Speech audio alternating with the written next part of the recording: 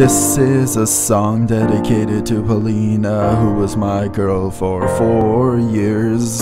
And I just wanna say, when I first met her, she felt like she was so warm, and I was at home, and I was never felt like that beside anybody else.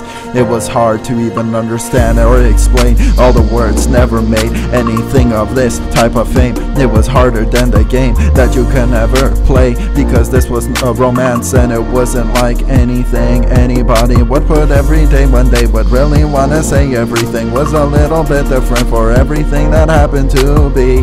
The only thing that we can ever see indifferently this was kinda the life but I don't wanna be so shallow about everything that ever happened around. There was a lot of things that I could really value now but I wasn't thinking straight I was logical and I didn't let society take me away and I was kinda living within the stereotype as I was thinking about Polina every single time. And she had beautiful blonde hair and she beautiful eyes.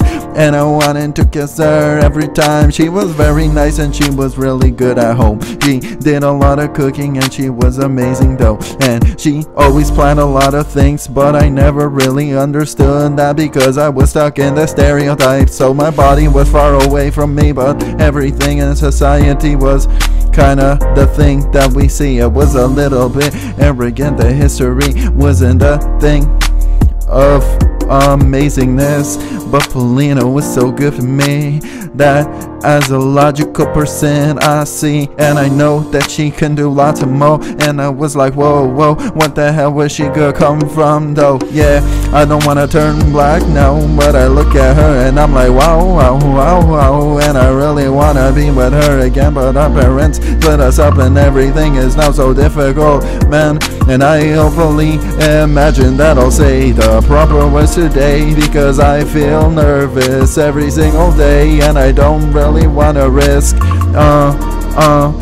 I kinda never really wanna risk with this Because I love this too much. I've been already living in the arrogance and bliss. I've been already giving her lots of attention And my emotions are flatlining because I feel lovesick I'm about to throw up But I really wanna love her Because she got a lot of things that are so interesting. You can't make a deal with the things of the real Because they will be so, silent about the things that they really wanna be. And everything is so little bit difficult. This is is the reality. This is not the factual. This is something of an irrationality that's supposed to be something really close to the way that things can be.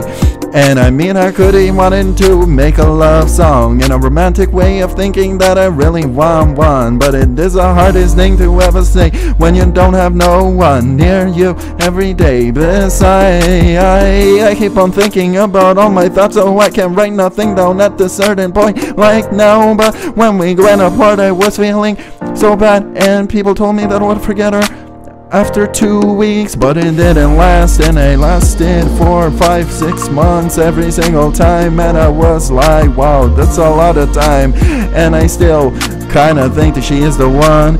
Even when I'm down, and emotions are so broken. Everything up in the notion, all the values are bestowed, and nothing is making rational sense. And the mind is turned again itself, and I feel a little bit lovesick. But I still remember her every time. Yeah, Paulina, yeah, yeah. When the first time I meet you, everything was just beautiful. You're so warm, and I remember how you treated me at home.